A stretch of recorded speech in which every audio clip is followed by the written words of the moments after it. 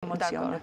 E kuptoj plotësisht gjendjen tuaj dhe unë vetëm deshta një sqarim të shkurtër sepse ne jua kemi dhënë mundësinë juve që të sqaroni para publikut të Maqedonisë, sepse e dimë që kemi një numër shumë të madh të njerëzve të cilët ndoshta në shumë raste ju kanë keqkuptuar, ndoshta në shumë raste ju kanë edhe akuzuar edhe ju jam shumë mirënjohëse sepse televizionet përndryshe në Kosovë hezitojn ni personalitet si un ta kenë, ndoshta edhe jam irrituese se jam shum direkte n'at aspektin jo me ia bo qefin po e tham mendimin tim po kurrnjiherë asni mendim i imi nuk ka bo ndryshime të liga në shoqri dy ndryshime që i kom bo në shoqri vetëm përmes dy emisioneve Me të nderuarin Halil Kastrati i kam thënë unë si psikologe, i kam thënë ju lutem mos ia drejtoni objektivin e kamerës apo fotoaparatit fëmijë, fëmijëve sepse ata pastaj krijojnë ndjenjën e inferioritetit.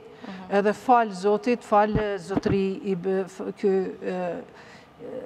Halil Kastrati, ai tani kur i fotografon fëmijët, e varfër, familjet e varfër, mhm. i mbulon një kështë. Mande e kam bërë dhe, e kam bërë dhe një ndryshim tjetër që sallonet e masazhës në Prishtinë përdoren jo për masazh, po për çështje tjera, mhm. unë me një fjalim kam thënë, nëse nuk mundeni prostitucionin mhm. e palegalizuar me ndalu, atëherë legalizojeni, legalizojeni le dihet... Dhe kjo është marrë sikur ju keni bërë thirrje që të legalizohet po, prostitucioni. Po, jo, nuk kam bërë thirrje, por nëse... Mëndë kështu është nxjerrë në po, ashtu nxjerrë, dhe në përmjë Ajo është normale. Domethënë, nëse nuk mundeni diçka të ligë, një një smundje morale që po i prish familjet, shkurorzimet, që po bohen amoralitet me vajzat tona t'bukrat, mirat, moralshme, po detyrohen me i bo disa gjana, Nëse nuk mundeni me ndalë prostitucionin e palegalizuar, atëherë legalizojeni s'paku le të dihet filan lagja